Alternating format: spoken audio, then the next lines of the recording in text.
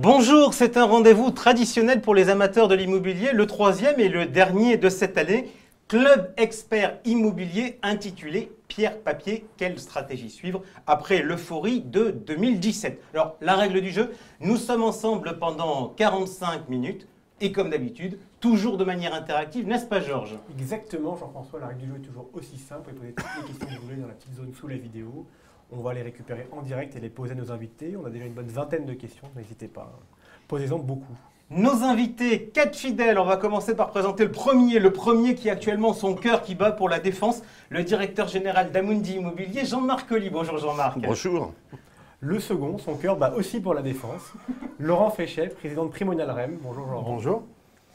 C'est un comble, notre troisième invité préfère parler anglais que français lorsqu'il évoque son job et pour cause, pourquoi? Parce qu'en français, le mot immobilier contient immobile alors qu'en anglais on dit real estate, ce qui donne une notion plus positive. Le directeur général de la française REM, Marc Bertrand, bonjour. Good evening.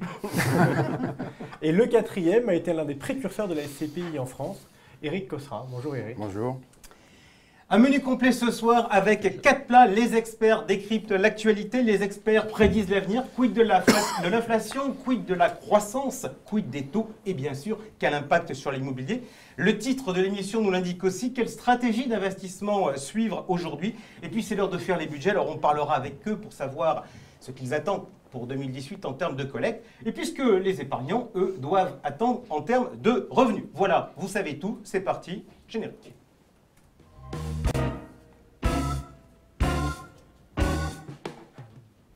On commence donc par euh, décrypter euh, l'actualité et pour commencer, on va commencer par regarder les chiffres que nous a communiqués l'ASPIM, l'association professionnelle, sur la collecte en ce début d'année 2018. Alors, on le voit, euh, si l'on regarde les tendances, déjà, ça fait déjà quelques années que la collecte des SCPI flambe. Eh bien, pour le premier semestre, l'ASPIM nous annonce une collecte de 3,8 milliards en net ce qui correspond à une progression de 56% par rapport à l'année précédente. Et la SPIM nous dit que la collecte devrait être sur l'exercice 2017 en comprise entre 8,5 et 8,7 milliards. On va donc exploser tous les plafonds. Alors on va essayer de faire un point aujourd'hui sur la situation. Euh, euh, je vais regarder qui baisse le plus la tête. Allez, Jean-Marc Colli. Euh, collecte. La, tendance, très bon début d'année. On voit que la SPIM nous dit que ça, va continuer. Est-ce qu'aujourd'hui, c'est le sentiment que vous avez? Est-ce que la, collecte ces, derniers mois reste à haut niveau? Oui, la collecte reste à haut niveau. Parce évidemment, quand on compare encore la performance de l'immobilier par rapport aux autres produits de placement, elle reste encore, euh, en termes de distribution, relativement élevée. Ceci étant, on commence à entendre les premiers petits signaux voilà, bah, d'une attention qu'il faut porter à ce marché, qui est peut-être allé un peu trop loin en termes de collecte. Donc voilà, il faut être attentif. Les réseaux sont attentifs, euh, mais la collecte promet euh, en 2017 d'être à peu près au niveau euh, prévu par la SPIM et sans doute à peu près au même niveau en 2018. Donc pas d'inquiétude. Ok, alors vous, nous, on vient regarder du côté des réseaux. Vous, votre distribution, elle est plus à travers des, à travers des, des conseillers. Vous, aujourd'hui, la collecte, vous considérez qu'elle se porte comment? Elle se porte bien. Elle se porte sur la même trajectoire que le premier semestre. On a noté un petit ralentissement, euh, notamment au moment de l'annonce de l'IFI, mais avec une, euh, fin d'année qui, devrait être, euh, qui devrait être bonne. Alors là, on voit les chiffres sur les, sur les SCPI. Sur les OPCI, Marc Bertrand, là, là, aussi, vous constatez une tendance positive? Alors, on est plus encore positionné sur les SCPI que les OPCI, mais je rejoins. C'est-à-dire qu'on a, on a eu un une rentrée un peu, un peu hésitante, et je pense que l'IFI n'est pas étranger à ce, à ce phénomène-là. Euh, maintenant, ça reprend, ça repart euh, sur le même rythme, peu ou prou, que le, premier semestre. Euh, à surveiller, à suivre pour les prochains mois. Laurent Fléché? Même commentaire hein, sur, le, sur la collecte depuis le début de l'année, avec un mois de septembre un peu plus compliqué, mais je crois qu'il était lié à tout ce qui a été annoncé en matière de, fiscalité, mais c'est bien reparti depuis. Je voudrais juste, parce qu'on parle d'euphorie, on parle de, de collecte très importante, redire, redonner quelques chiffres. L'équivalent des SCPI en Allemagne, les fonds ouverts, c'est plus de 90 milliards d'euros de capitalisation. Les SCPI françaises, c'est 45 milliards d'euros, entre 45 et 50 milliards d'euros en fin d'année avec la collecte de cette année. Donc on reste sur des volumes qui sont malgré tout tout à fait raisonnables par rapport à, nos concurrents et par rapport au volume d'investissement parce qu'aujourd'hui on se situe en Europe, on voit qu'il y a une vraie diversification au niveau de l'investissement, et quand on se compare un volume sur l'immobilier tertiaire de plus de cent- une centaine de milliards d'euros de transactions, on voit que les SCPI, malgré tout, restent un petit intervenant dans le monde de l'investissement. Ok, on vient, j'ai entendu dans, dans- les discussions, là on a dit, il y a quand même eu un petit effet euh, IFI, euh, donc je vais rester tiens avec vous, Laurent Fléchy, il y, il y avait un combat pour essayer de se battre euh, pour le fait que les, les SCPI, les OPCI ne soient pas pris en compte dans l'IFI. Euh, le texte a été voté en première lecture à l'Assemblée nationale, le combat est perdu? Clairement, je pense que les, choses sont arrêtées aujourd'hui. Les produits d'immobilier collectif non cotés, mais également pour le côté, sont dans l'assiette de l'IFI. Je voudrais juste dire, on a un petit peu regardé en interne euh, sur, sur nos clients. Une très très très grande majorité de nos clients ne sont pas assujettis à l'ISF. Et le produit SCPI est un produit qui aujourd'hui est recherché par sa qualité et sa capacité à distribuer tous les trimestres des compléments de revenus. Beaucoup plus que sur la performance et la création de valeur et le TRI qui est attendu. Et je pense que l'IFI ne va pas venir changer cela et que ça ne pose pas de problème particulier pour nos clients aujourd'hui.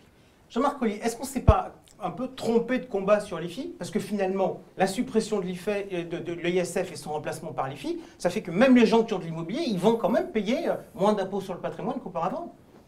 Alors, oui, parce que globalement, bah, la partie valeur mobilière est exclue de l'ISF, donc tout le monde en profitera, ou du moins la partie des gens qui sont assujettis à l'ISF en profiteront. Parce que m'a le plus marqué, c'est moins l'IFI, à mon avis, euh, auquel les réseaux étaient sensibles, que, encore une fois, euh, la mise de, de l'immobilier un peu au banc des actifs productifs, en disant ça ne sert à rien, c'est un actif, un actif de rentier, euh, et on oublie par là même que ça permet quand même de loger les entreprises, voire de loger les Français, et qu'en tant que tel, c'est quand même un compartiment de la vie économique.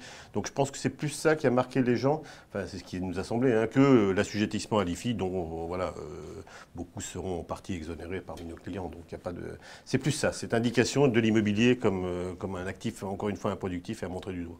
Éric Cossera, au-delà de ce que vient de nous dire Jean-Marc Colli, est-ce que finalement, euh, l'enjeu pour l'immobilier, c'était pas plutôt la flat tax que l'IFI Certainement, c'est- un tout. Euh, je, je rejoins Jean-Marc Colli quand il dit que c'est- ça donne une, une image qui n'est pas forcément euh, positive et ça ostracise un produit. Un produit, la, la SCPI et l'OPCI, c'était quand même des produits, des produits retraite euh, qui ont toute leur légitimité, qui financent l'économie, contrairement à ce qui a été également dit.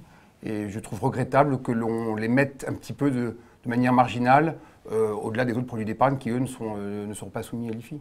Marc Bertrand, vous avez vu ce débat fiscal avec quel regard? Alors, je partage très largement ce qui a été dit sur filles. C'est plus la stigmatisation et la mise à l'écart de l'immobilier par rapport au reste qui est, qui est regrettable.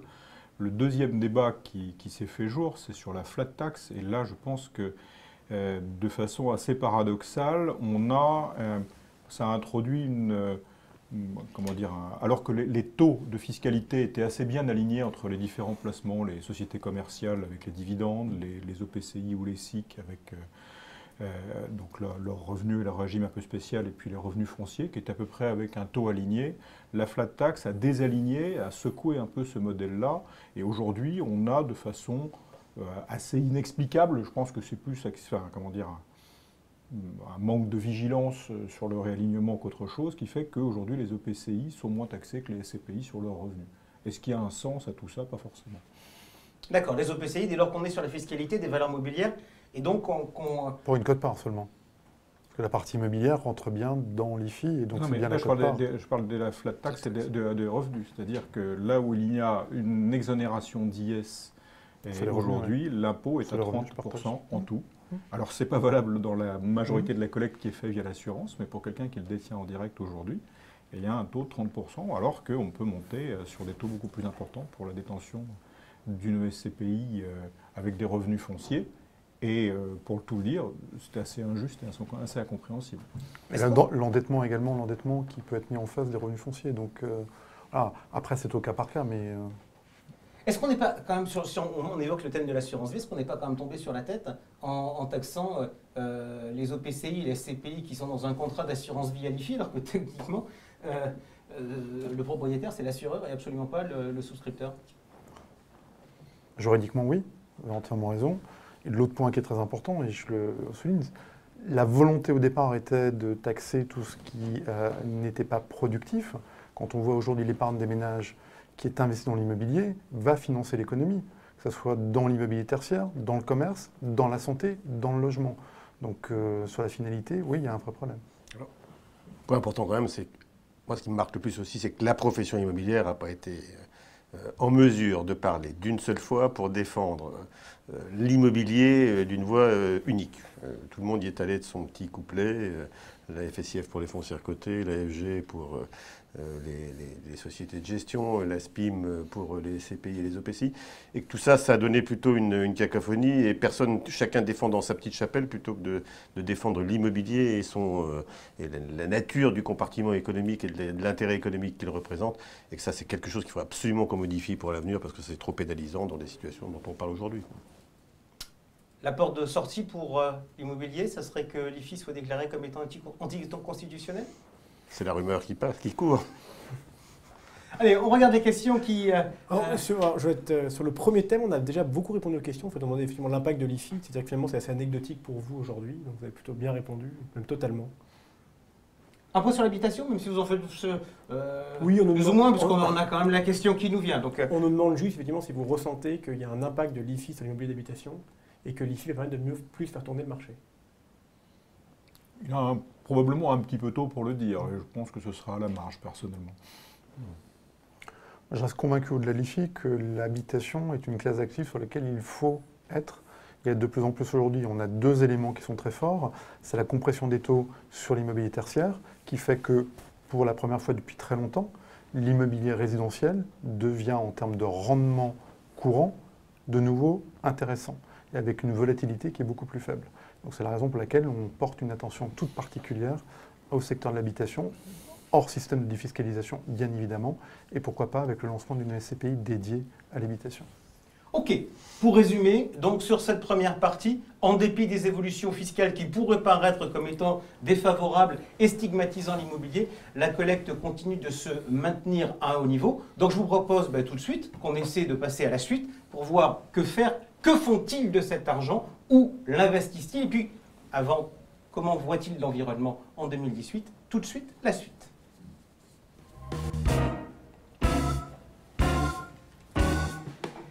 Le club expert immobilier, l'heure est maintenant venue pour nos experts de nous prédire l'avenir. Alors, euh, je ne peux pas vous demander de jouer Madame Irma, mais je voudrais qu'on essaie, avant de rentrer plus dans le détail de vos investissements, de euh, bien euh, comprendre comment vous voyez euh, l'environnement économique? Alors, on a, des stats qui nous ont été sortis, notamment par, par l'INSEE. L'INSEE nous dit qu'il y a une accélération euh, de la croissance en France.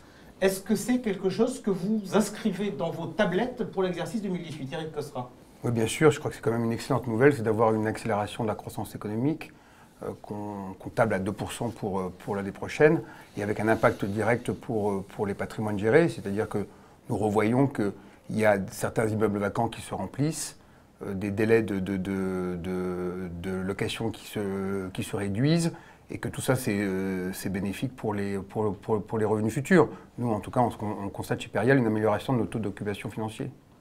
Laurent Fléchier, on a un, chiffre qu'on a pour le chômage. On dit à partir de 1,5% de croissance, le chômage baisse.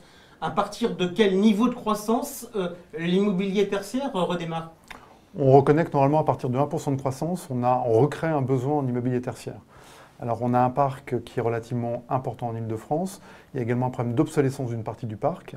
Mais le fait d'avoir le niveau de croissance que l'on a aujourd'hui et qui a de nouveau été revu à la hausse fait qu'on a une demande plus forte. Et donc, l'élément qui va générer de la valeur dans nos patrimoines immobiliers détenus par nos SCPI, c'est sans doute le niveau de loyer. Je pense qu'on est encore sur des niveaux de loyer qui sont tout à fait raisonnables notamment à Paris et en région parisienne. Marc Bertrand, vous, partagez euh, cette analyse-là? Oui, assez largement. C'est-à-dire que je modérerais, c'est-à-dire qu'il faut de la croissance pour créer de l'emploi qui crée du remplissage et qui crée un cycle positif de loyer. La question, c'est plutôt le temps de latence entre ces effets économiques et la répercussion très concrète dans les patrimoines. Donc en fait, c'est ça. Et on va passer probablement une période où effectivement on aura une croissance économique un peu plus forte et on, attendra un petit peu les effets euh, dans, le, dans les patrimoines immobiliers. Rappelons quand même que 2%, euh, c'est bien que l'on ait cette accélération de la croissance parce qu'on était en retard sur le cycle de nos petits camarades en, dehors de l'Europe. Et euh, d'ailleurs, quand on rencontre des étrangers assez nettement, ils se, disent qu'on va avoir connaître une phase de rattrapage économique de la France qui a été bien en retard. Ce phénomène d'accélération. Donc il y a une dynamique Macron?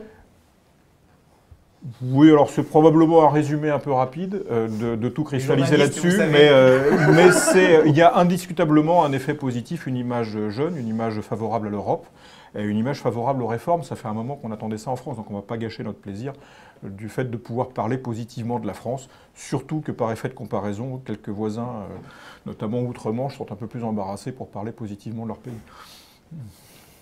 Votre sentiment sur la croissance. Et puis, derrière la croissance, il y a un autre sujet qu'on lit très souvent à l'immobilier, c'est l'inflation. Est-ce que l'inflation va repartir Et est-ce que ça peut avoir un effet positif sur l'immobilier? Alors, sur la croissance et l'augmentation des loyers économiques, hein, je pense qu'on aura d'abord une diminution des mesures d'accompagnement avant d'avoir une augmentation des loyers. Donc, Donc, oui, autrement dit, ce que vous êtes en train de nous dire, c'est qu'on va arrêter de faire des rabais. Dans un premier temps, on va pas rentrer plus d'argent dans les caisses, mais on va arrêter de faire des rabais. Voilà, ou d'une manière un peu plus, un peu plus. Je pense que c'est comme ça que ça va arriver.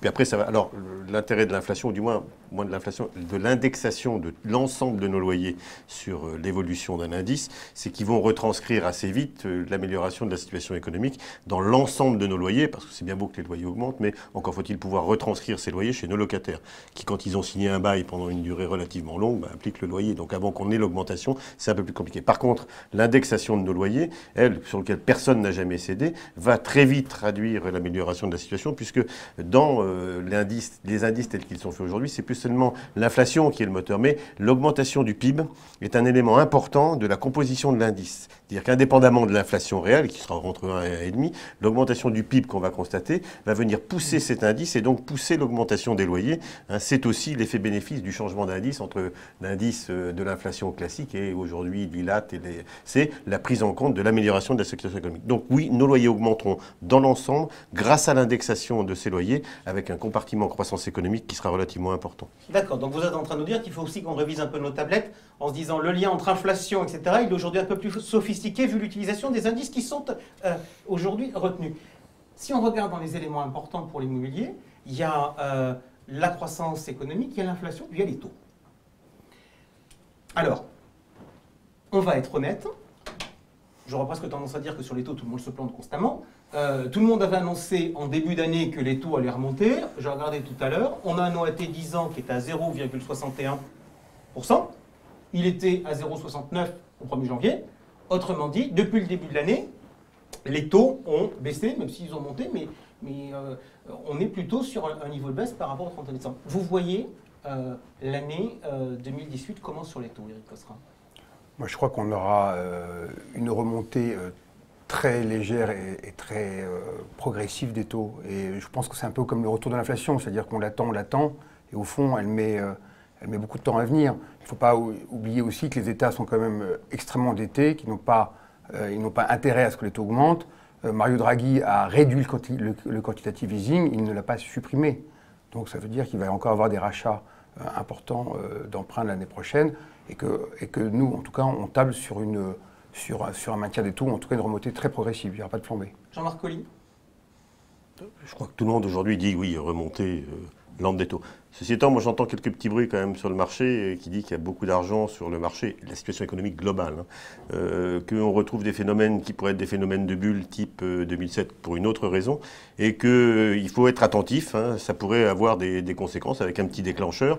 Donc euh, il faut qu'on soit, nous, dans notre gestion immobilière, euh, sans doute en ligne avec ce que dit Eric, ça remontera doucement, mais qu'on se prépare à éventuellement une remontée un peu plus rapide s'il y avait un événement économique un peu plus dur. Donc c'est ça toute la difficulté de 2018 pour nous, hein, c'est euh, en étant conscient que ça peut rester relativement bas, préparer quand même la suite et se dire quelle va être la conséquence de cette augmentation des taux sur euh, nos valeurs d'expertise, sur les prix de nos acquisitions, etc. C'est ça l'important. Est-ce que- est-ce qu'il y a encore une logique économique dans la fixation des taux d'intérêt à long terme? Ou est-ce que finalement on est dans un marché qui est complètement biaisé parce qu'il y a la Banque centrale qui achète et puis, puis voilà quoi?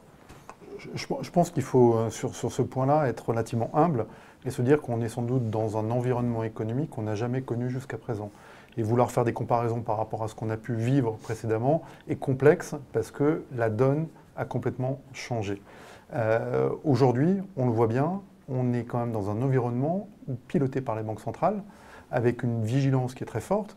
Mario Draghi a certes dit qu'il était prêt à limiter le quantitative easing. Néanmoins, il a quand même également précisé que s'il le fallait, il le remettra en place parce que tout ça est relativement euh, stable euh, tant que euh, les marchés sont relativement mesurés et on est à la merci d'une petite étincelle. Donc dans tout ça, Je pense qu'on a une visibilité, je pense, moi pour ma part, qu'en 2018, les taux ne vont pas remonter. Ils vont remonter à moyen terme, mais ça mettra beaucoup plus de temps qu'on veut bien le dire. Marc Bertrand? C'est vrai, enfin, je partage assez largement ce qui a, qui a été échangé. On ne voit pas les taux remonter rapidement sur 2018 parce que globalement, les, que ce soit la Banque centrale, les États, personne n'a le choix. Mais euh, partager également le fait que, euh, de manière évidente, on ne déverse pas des, mm, comment dire, des quantités telle quantité de liquidité sur les marchés sans que ça ait d'effet sur la valeur des actifs. Donc on est un peu en terre inconnue en se disant qu'on a atteint des prix qu'on n'a jamais atteints, mais dans un contexte qu'on n'a jamais non plus jamais vécu. En quoi les taux sont importants pour l'immobilier? Euh, et pour les, les- les SCPI Euh, Effet valeur de- de- de- du bien immobilier, euh, effet recours au levier. Euh, on, a, on a une question Oui, il y a justement. pas mal de questions sur le levier, c'est-à-dire à quel point vous utilisez le levier pour anticiper une collecte future et comment vous vous protégez si justement le marché se retourne, soit d'un point de vue collecte, soit d'un point de vue prix de l'immobilier. Alors on va, on commencer par ce chapitre-là. Est-ce que vous utilisez du levier pour anticiper la, la collecte future? Est-ce que vous utilisez du le- levier pour accroître la performance? Et est-ce que le niveau actuel des taux, une éventuelle remontée, peut être problématique? Jean-Marc Colli. Nous, on utilise le levier pour les deux, euh, plutôt du court terme pour anticiper la collecte, mais beaucoup de l'effet de levier structurel. Hein, euh, parce que euh, dans le contexte de taux d'investissement de nos immeubles, la manière de servir la performance attendue par les associés, c'est de profiter de l'effet rélutif de financement. Et donc, on s'inscrit dans une durée structurelle de- des- d'effets de levier. Alors, comme euh, on sait que les taux peuvent remonter, qu'il faudra un jour, on essaye aujourd'hui d'allonger la durée de nos prêts hein, euh, pour euh, profiter le plus longtemps possible du contexte de taux bas, et puis essayer, si un jour les taux remontaient, ben, de passer peut-être euh, une phase de, de marché, et puis de se retrouver quelques années plus tard avec un contexte de taux qui serait différent. Donc allonger le taux pour profiter du bas et se protéger de ce qui pourrait arriver. Laurent Fléché. On a un effet de levier qui est tout à fait modéré sur nos produits SCPI, qui se compose en deux types d'effets de levier. Un premier qui est une dette plus corporate, qui nous permet d'avoir une bonne adéquation entre les investissements et la collecte. Pour acheter un immeuble, il faut, on va dire, 5-6 mois.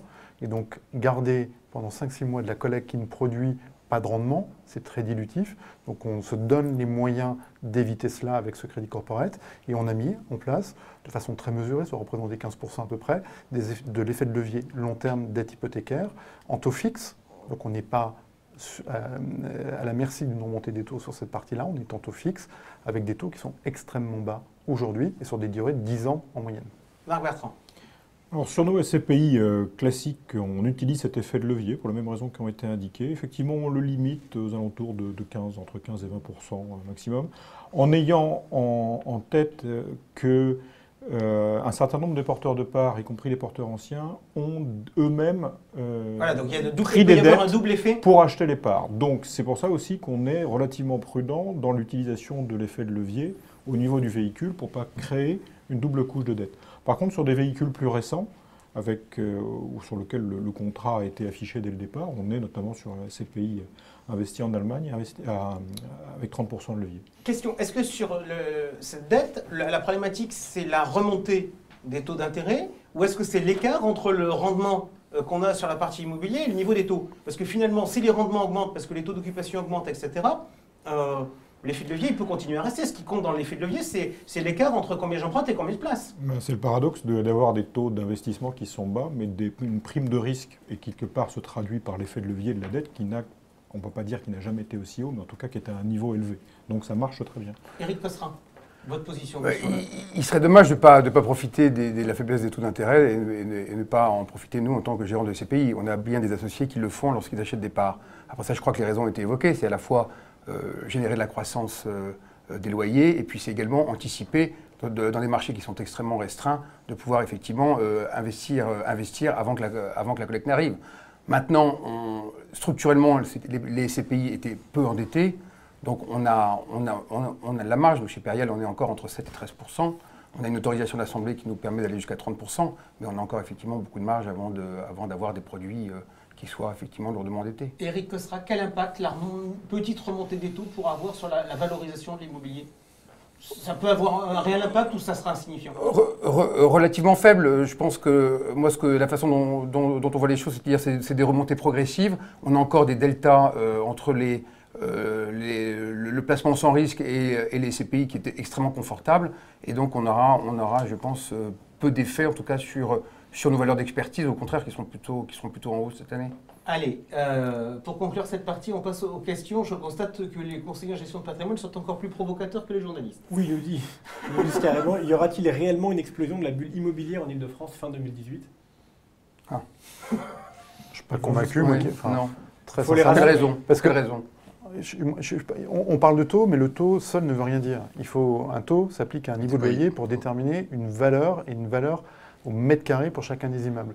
Aujourd'hui, par exemple, on regarde un immeuble très bien placé dans Paris qu'on va acheter à un taux qui est bas, taux de 3,40, avec un loyer qui est largement en dessous du loyer de marché. On, parle d'un loyer de 300 euros. On va le remonter ce loyer à 450 euros. Euh, très clairement, on va créer de la valeur rapidement. Donc on voit bien que parler des taux bas sans regarder le prix au mètre carré ne veut pas dire grand-chose. Et quand on compare des prix au mètre carré par rapport à des valeurs de 2007, on est à peu près au même niveau, voire légèrement au-dessus, mais dans un contexte économique qui est bien plus favorable. Donc moi je ne suis pas convaincu qu'on ait une bulle immobilière, et certainement pas en 2018. Bien, pour résumer donc l'avenir, 2018, ce que j'entends, c'est euh, une croissance économique qui repart, ce qui est une bonne chose, parce que ça fait que bah, on fait moins de rabais aux locataires, qu'il y a plus de locataires, qu'on arrive à augmenter les loyers. Une situation de taux qui est plutôt euh, légèrement stable ou légèrement à la hausse, avec une, une petite pointe d'inflation. Bref, un environnement globalement plutôt favorable à l'immobilier. Comment en profiteront-ils demain? Où est-ce qu'ils investissent? On regarde ça tout de suite.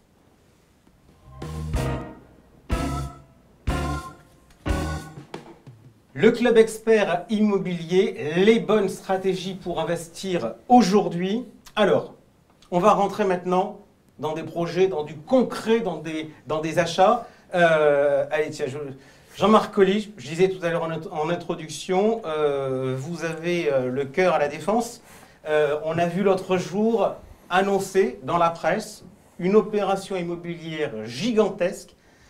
Crédit Agricole et deux de ses filiales, Crédit Agricole Assurance et Amundi, associés à Prémonial, qui rachètent Cœur Défense. Parlez-nous de cette opération. Alors, moi, je dirais qu'on a le cœur défensif, et non pas le cœur à la défense. L'objectif, mais qu'on poursuit tous, c'est essayer d'investir à un endroit où, dans le contexte économique qu'on a détruit, décrit, on va pouvoir capter au mieux l'amélioration des loyers et éviter l'ajustement des prix.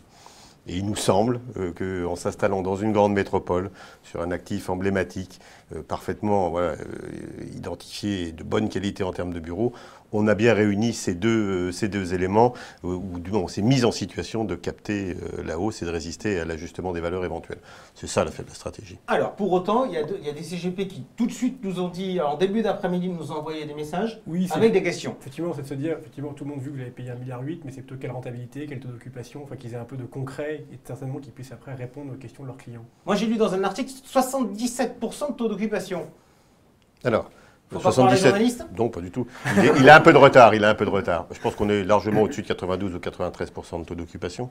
Euh, alors le prix, euh, 1,8 milliard, nous on ne dit pas le prix. Mais, euh, bon, C'est le allez, prix de- on est aux les- environs d'un milliard. Les CGP disent 1,8 milliard. Ce qui est le plus important, c'est aussi de constater que sur cette taille d'actifs, on a aussi une prime de- de- de- au rendement, parce que bien sûr l'actif est rare, la taille est importante, les acteurs ne sont pas nombreux, donc euh, on a un supplément de rendement par rapport à d'autres actifs de taille un peu plus faible sur ce type d'actifs. Et La taille, c'est contrepartie- Alors, 160 000 mètres carrés. Euh, bah oui, à peu près 16 000 personnes qui travaillent tous les jours à l'intérieur de l'immeuble.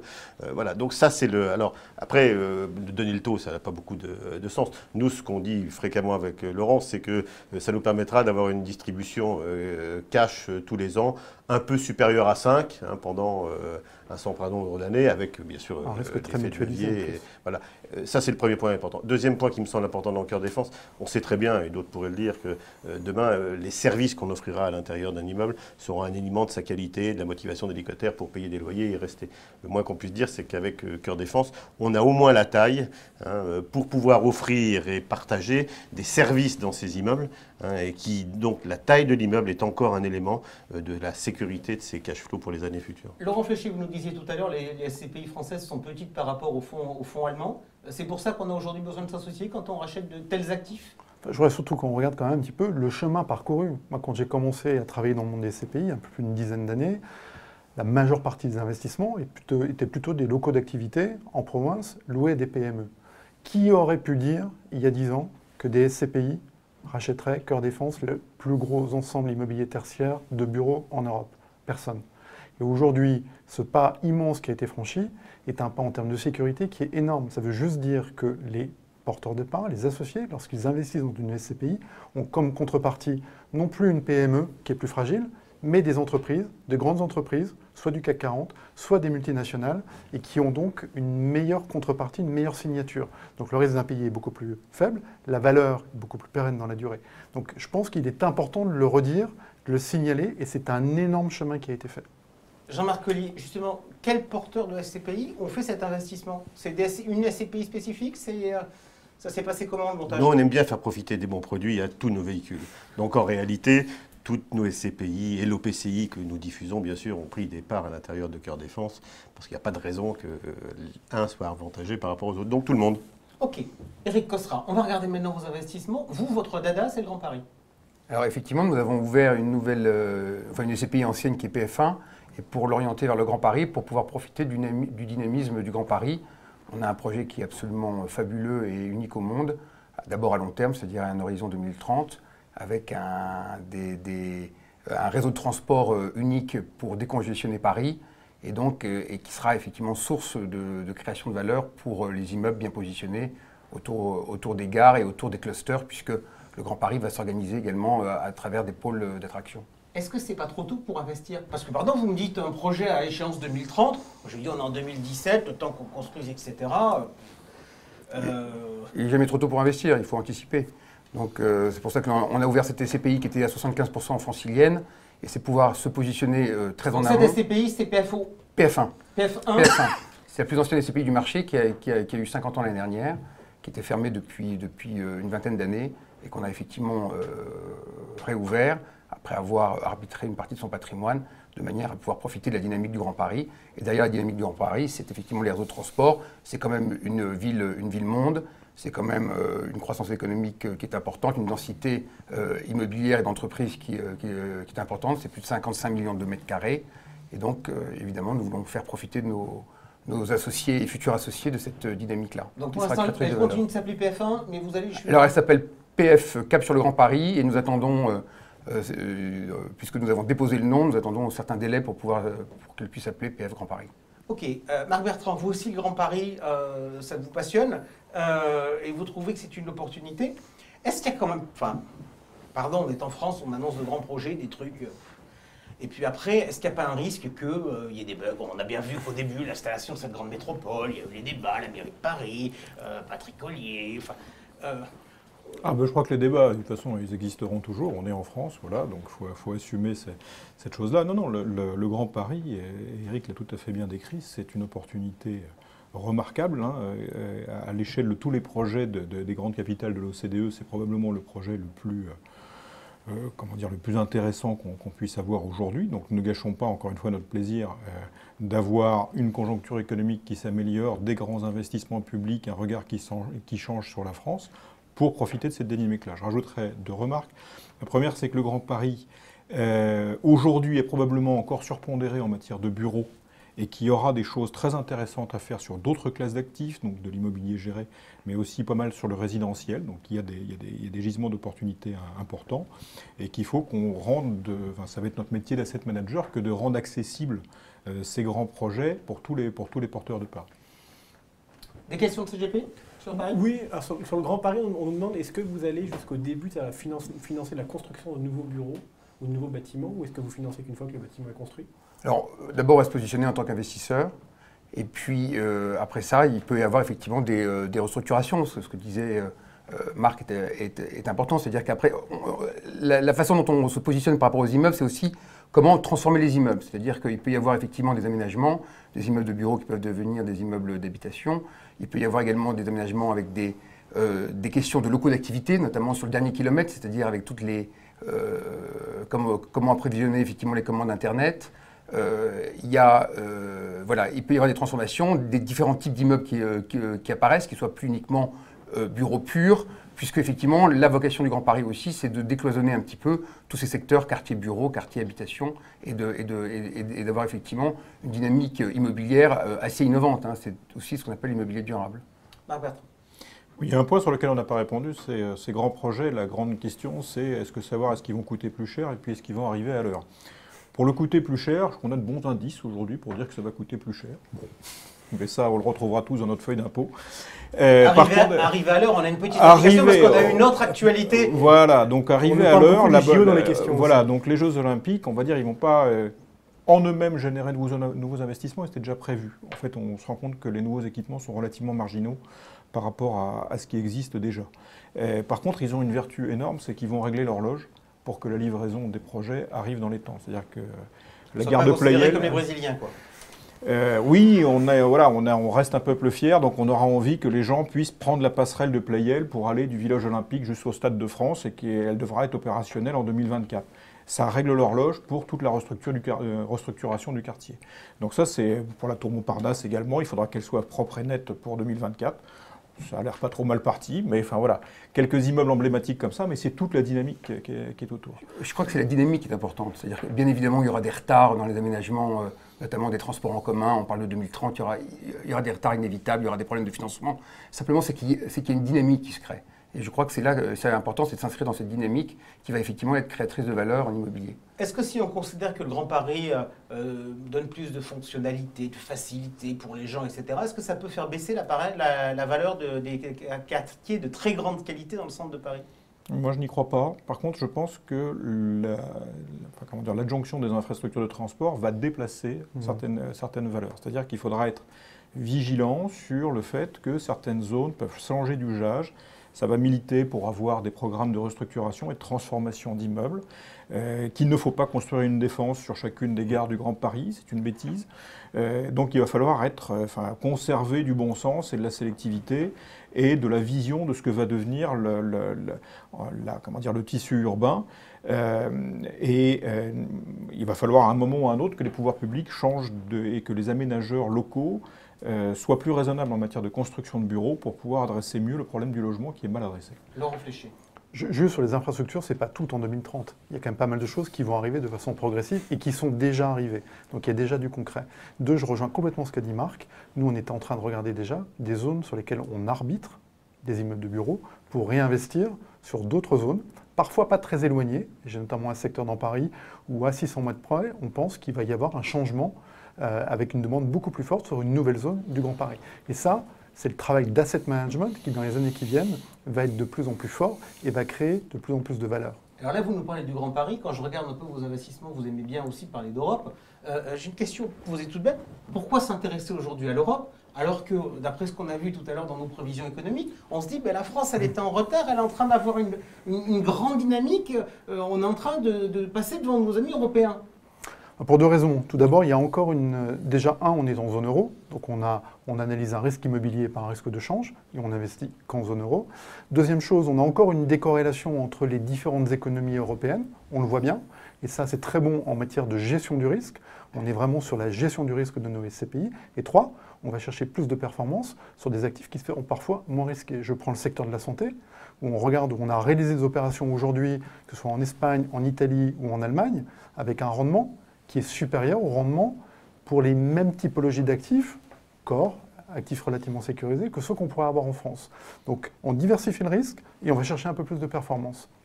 Par contre, ça veut dire un énorme travail pour les sociétés de gestion en amont, parce que c'est un marché local, et dans ces différents pays, nous avons maintenant des équipes qui sont sur place et qui sont capables d'analyser, de comprendre ces marchés. Et ça, c'est une très grande différence par rapport à ce que les SCPI ont pu faire il y a une dizaine d'années ou une quinzaine d'années. En fait, où elles sont allées seules. dire qu'on est passé de la PME à l'Europe, qu'on s'est structuré, que le marché a complètement Exactement, exactement.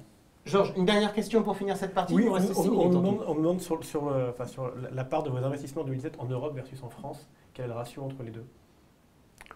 Je peux, En 2016, on était à 10% de notre patrimoine détenu en Europe.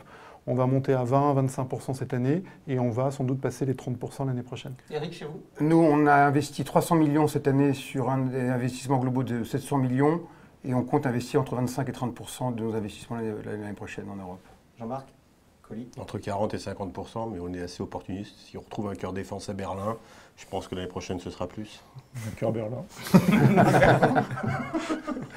euh, Nous, on est à peu près à 30-40% à l'étranger.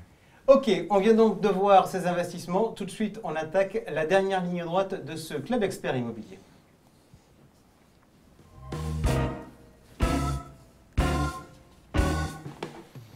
Il nous reste 5 minutes pour... Ben, c'est l'heure de faire les comptes. Nous sommes au mois de novembre. Au mois de novembre, qu'est-ce qu'on fait? On est tous en train de préparer nos budgets pour l'année prochaine. Donc les épargnants préparent le leur, les gestionnaires préparent le leur, les conseillers en gestion de patrimoine préparent leur le leur. Donc on va, on va préparer le budget ensemble. Euh, déjà, on va commencer à regarder euh, le budget sur la, la tendance au niveau de la collecte. Euh, la collecte 2018, vous la voyez euh, comment, Eric Cosra?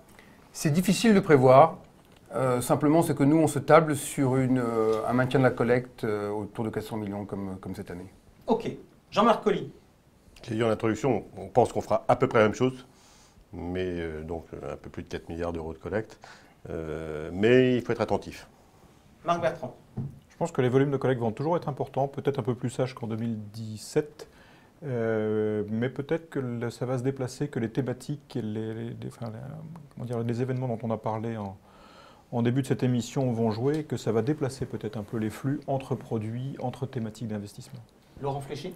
Un peu plus, un peu moins que cette année, j'en sais rien, mais sur une dynamique qui reste très positive avec une demande qui est forte sur ces produits-là. Très positif en 2018 encore. Ça, c'est pour la, la situation de marché, pour savoir combien d'argent, combien les conseillers vont devoir collecter, combien vous, vous allez devoir investir. Euh, Il y a une autre question que se posent euh, les épargnants, notamment on a vu tout à l'heure que euh, la SCPI notamment été très utilisée comme étant un produit qui distribue des revenus. Vous nous avez présenté un environnement où il y a une petite reprise de l'inflation, une amélioration de la situation économique, la capacité toujours qu'on a à faire du levier. Comment vous voyez dans vos produits respectifs l'évolution?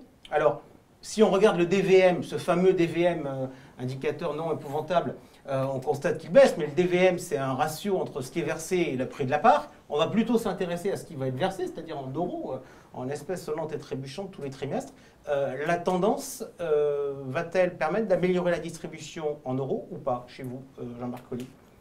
On voit plutôt une grande stabilité de la distribution.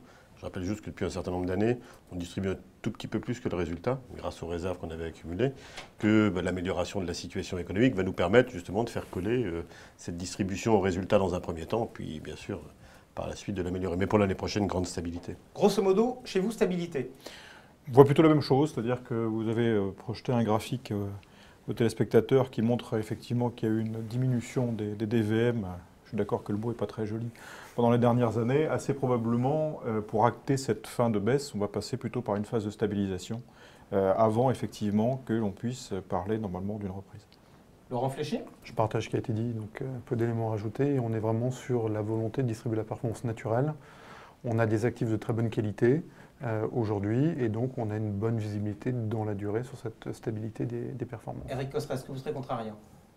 Non, je, je partage l'avis de mes, de mes confrères. Euh, euh, de- de- ce qu'on constate, c'est qu'on a quand même, nous, une amélioration des taux d'occupation qui est quand même euh, significative et qui, et- et- et qui est importante. Euh, c'est une première étape.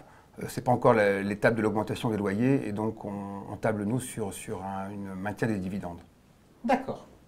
Des questions pour finir, Jean? Oui, enfin, vous venez de répondre, nous dites, est-ce que donc on peut tabler sur des, sur des taux équivalents 2018 Alors de taux, non, on n'a pas répondu sur les taux, on a dépendu- répondu sur les revenus. Est-ce Oui, que mais- Est-ce qu'on pense qu'on va avoir des revalorisations de parts Remontée des taux d'intérêt, a priori défavorable euh, pour les valorisations de parts.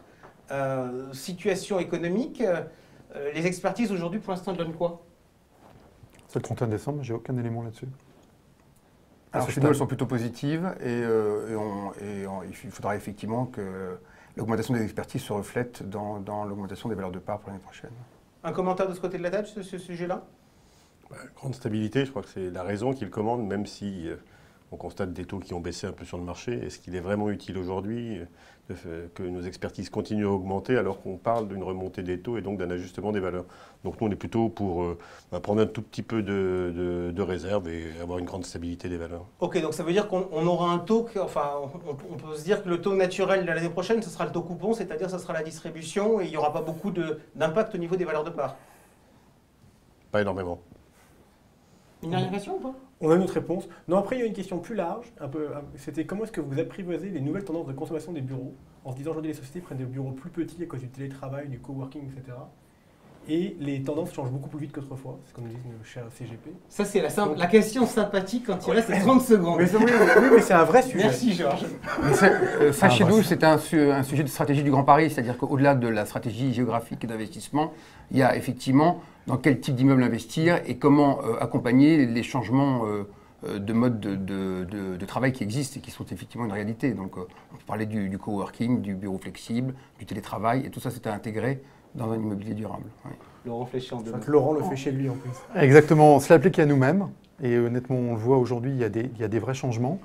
Euh, en se l'appliquant à nous-mêmes, on se rend compte qu'on a besoin parfois de plus de surface, mais qui est utilisé différemment. C'est un sujet qui est important et honnêtement, il est compliqué d'y répondre en 30 secondes. Je pense qu'on pourrait même avoir un club expert complet sur à la fois les mutations dans le mode de la consommation sur le commerce, mais également dans le bureau, et ça serait passionnant. Eh ben, je vous propose qu'on fasse ça Le la prochaine fois, en début d'année, puisqu'on a parlé de 2018, en début d'année qu'on parle de ça et qu'on parle de vos projets. Voilà, c'était euh, le club expert immobilier avec Laurent Fléché de Primonial REM, euh, Eric Cosra de Perial, Jean-Marc Colli d'Amundi Immobilier et Marc Bertrand de La Française REM. Voilà, c'est fini pour aujourd'hui, on se retrouve bientôt. Oui, on se euh, retrouve Georges. dès mardi prochain, je vous rassure. Alors, on reste dans le groupe Primonial avec l'Office by Primonial, donc on va parler de groupement et de réseau de CGP, donc un autre sujet. Salut à vous tous, à la semaine prochaine.